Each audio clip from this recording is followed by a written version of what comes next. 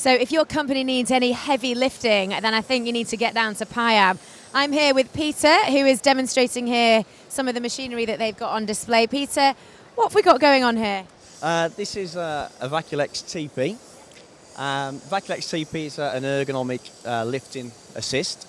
Basically, electric driven pump, as you can see behind.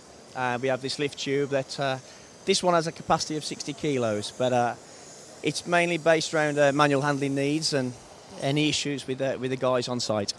So all the, everything that you need for heavy lifting, really. Yeah, yeah, pretty much. I mean, we lift uh, as a whole, it's from zero to 250 kilo.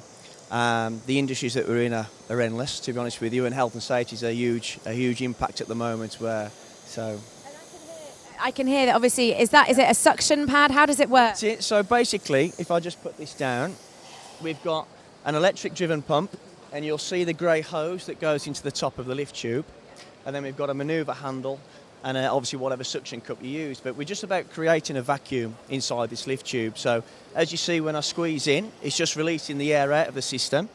As soon as we touch the product and grip, as I start loosening it, it just creates the vacuum chamber and away we go. And it's designed to lift 100% of the weight, so there's no limitations on whatever we're picking up. As long as it's in the capacity, we're okay. Fantastic. So this is the capacity for 60 kilos, but this one looks a little bit um, heavier. It, and while while that's being lined up, you can tell me a little bit about uh, about PIAB, maybe. Yeah, sure. I mean, PIAB's, ah, crikey, 50 odd years old. They've got an automation and a, a conveying side. And Vaculex, as the group, Swedish owned, we're a, a company bought out a year and a half. Uh, and we've been designing this, this technology for over 30 years. But basically, uh, when we were acquired a year and a half ago to be part of the tube lifting uh, design, that was what we're really pushing towards. So we've got this up and running now. As you can see on the on the design as well up there, one of the things that we're trying to push at the moment and get into the industry is the, the keg lifting tool. So this keg, I mean, you can try and lift it if you just try and have a little pull on that. I'm Okay. lying, it's- it's- I'm gonna I'm gonna give it a whirl. I mean, no chance, no chance. That's 70 kilos. So, what what we do, we just uh, take the side of the the keg, start releasing the vacuum, and what you'll start seeing is as we squeeze in, the system's got it, and the proof is in the pudding. So please feel. So, oh wow, no, I mean, slowly squeeze in, nice and slow. oh, There we go. it's light, it's light as a feather when you squeeze that in, and that's obviously the, the suction in the air. Exactly, pure vacuum, the tube, and all we do to increase whatever capacity we're looking for is a bigger lift tube, a bigger pump. But what we also do with these kegs, we create a, a rotation. So a keg filling line, they want to get at this sort of height.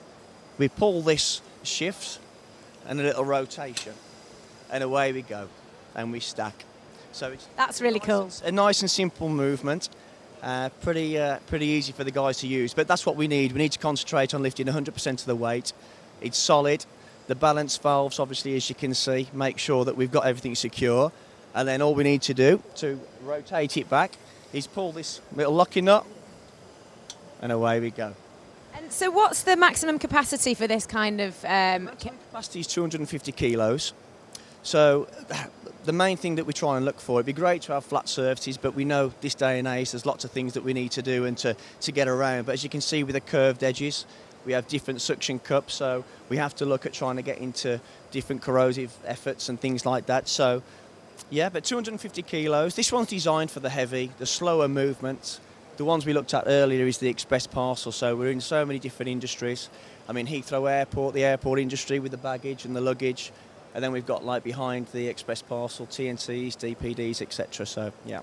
Brilliant. Well, thank you so much for the demo. It's been one of the coolest things that we've we've seen, and actually being able to touch that, it's like it's light, light as a feather. It's really surprising. Well, have a great show. Thank you very much. Thanks for your time.